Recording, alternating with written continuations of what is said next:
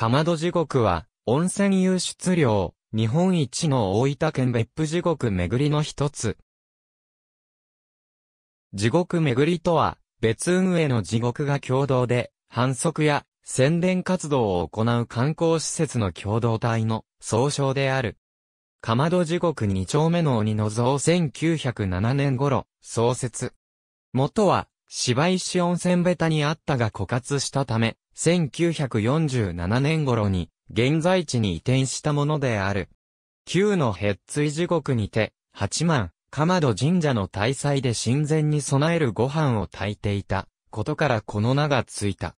他の地獄をダイジェストにして集めたような6つの地獄があり、それぞれ地獄の1丁目から6丁目と名付けられている。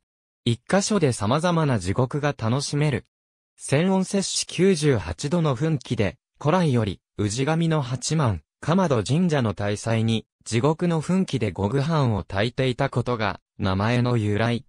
2019年頃からは、八幡、鎌戸神社と共に、鬼滅の刃の聖地としてマスコミなどに取り上げられ、話題になった。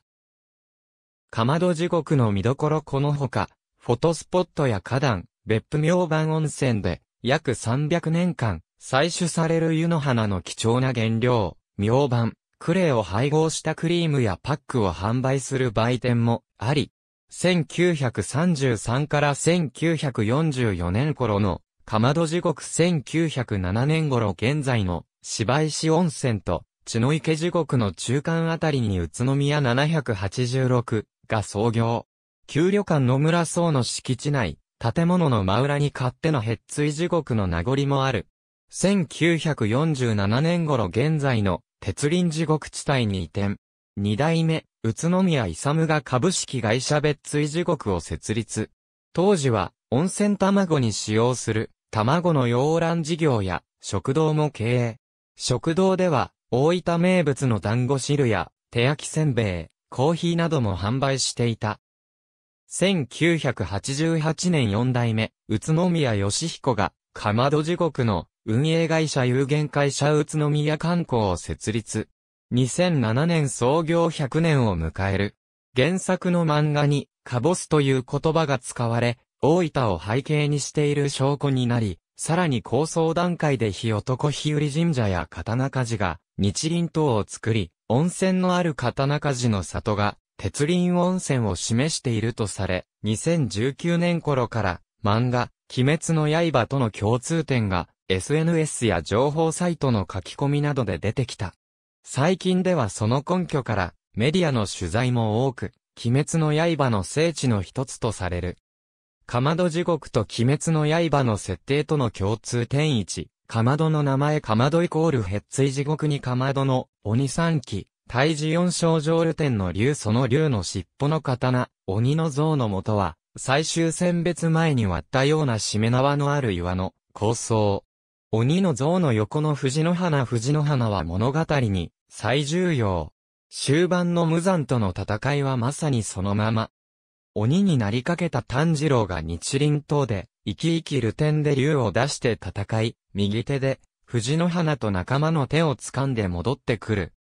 かまど六兄弟イコールかまど地獄一丁目から六丁目までの六つの地獄、日輪刀を作る刀鍛冶鉄の名の刀鍛冶が日輪刀を作り、温泉がある鉄は温泉イコール鉄輪温泉を示している。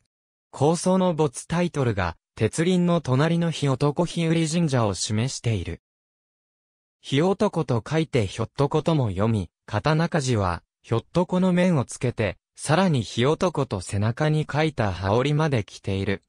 初縁のある、八幡かまど神社に朝日を見て逃げた一区域の伝承。原作18巻で学園のクラス設定に、カボスという言葉が使われている。カボスといえばだいぶでしかありえない。カボスのそのほとんどは、大分が産地。カボスイコール大分数十年以上前から、代々伝わる天狗の面がある。数十年前からある狸のロゴが、漫画、映画で、炭治郎が狸になった元とされる。それほど似ている。ワニ先生のワニの自画像は鬼山地獄のワニで、かまど地獄を示す。水の呼吸の構想元が、かまど地獄スタッフのパフォーマンスとされている。別府には、かまど一族の墓地がある。かまど地獄のすぐ近くに白蛇を祀っている貴船城がある。道磨くの極楽教のもと、極楽コーナーがある。さぎり山は、さぎり台。霧が深いという共通点がある。三つりの物語の設定に出てくるような茶屋があり、その前には、色の変わる池がある。三つりは、桜餅の食べ過ぎで髪の色が変わったことや行きつけの茶屋があることは公式の設定です。ラムネもある善や恋の言葉を使った占いがある。